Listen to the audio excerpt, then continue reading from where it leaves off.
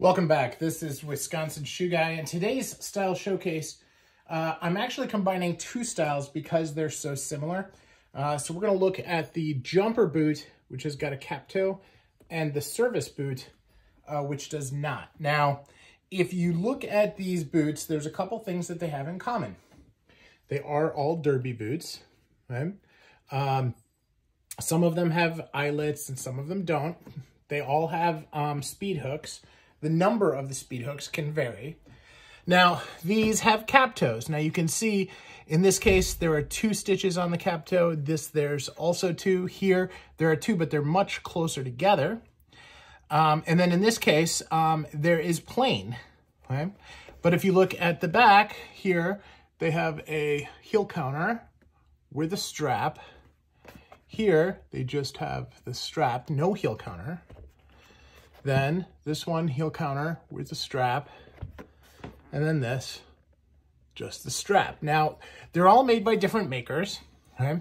You'll notice this one, and you may not be able to see it at this height, but if we look at this boot, and then we put this boot on top of it, okay, there is, so I'm gonna just put the heels together, it's actually quite a bit taller, maybe a whole centimeter taller. Now, this is a Meermin, as is this. This has a totally different type of construction. This is a Norvegese construction, and the rest are, are Goodyear welted. Uh, this one is actually hand welted. Now, this has a storm welt on it. Now, this one is interesting because the welt on this is gimped, which is different. Usually they're not. And that's something very interesting to look at. This one is actually made out of kangaroo leather. So um, pretty different there. Has a different sole. This is a Cru Nonpareil. This is Meermin. Different kind of like a City Commando sole. Then this is Meermin as well with the JR sole. And then this, the taller one, is Crockett and Jones with their typical mainline sole. So shell, shell, this is horse butt, and then as I said, kangaroo. So you can have a lot of different leathers to it. Um, this one has the eyelets, which uh, does change the look a little bit. This one doesn't. Uh, but this is actually four and three, where this is five and three.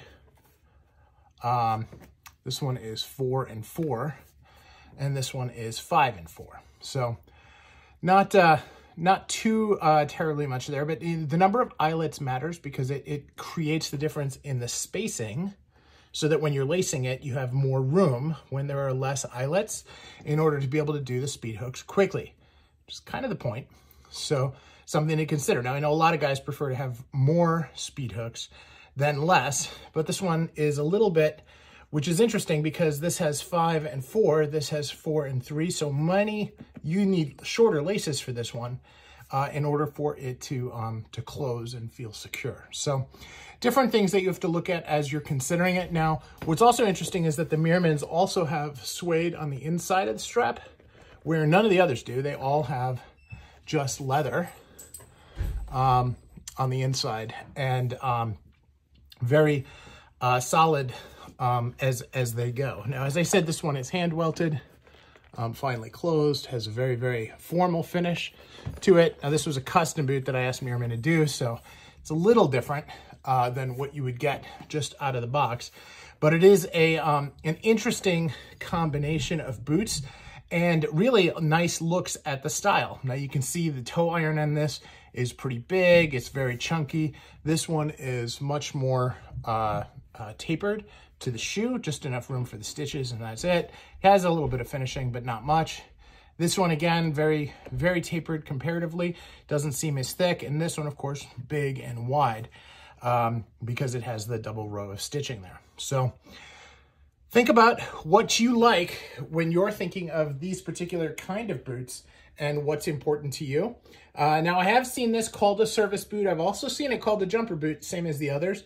Uh, but because the cap toe is the main design feature outside the construction, um, I, I, did want to keep them together. It's also my only one that's plain toe. So uh, food for thought. Tell me what you like about this style of boot and how you build your collection around it. Thanks for watching.